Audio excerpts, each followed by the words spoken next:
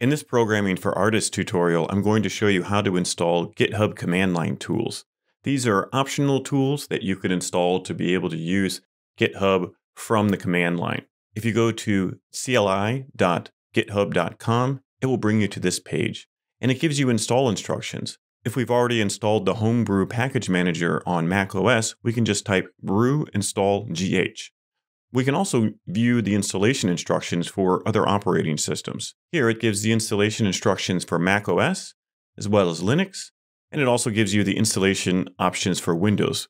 After Windows 10, there is a default package manager that you can install with Windows called winget. Simply type this in, and then you can use the GitHub command line tools in Windows.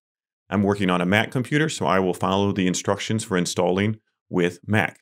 So here I can copy this command. But where do I paste this command? I paste it into a new terminal window. Here I have a new terminal window, and I'll paste the command, and then it will install.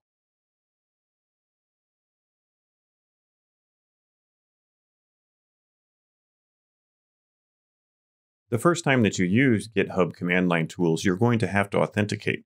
We can do this by typing in the following command. We can type gh space auth login. It will next ask you which account you want to log into. We want to log into github.com. Then we can either use HTTPS or SSH.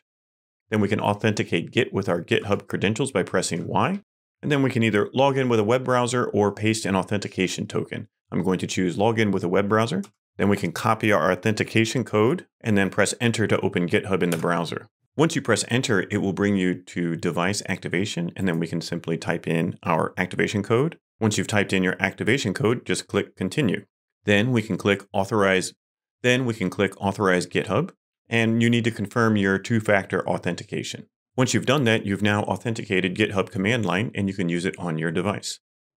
Hopefully this helps you authenticate GitHub command line with your GitHub account.